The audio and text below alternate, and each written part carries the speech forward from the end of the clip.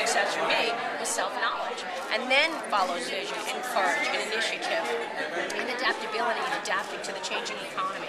It's very important.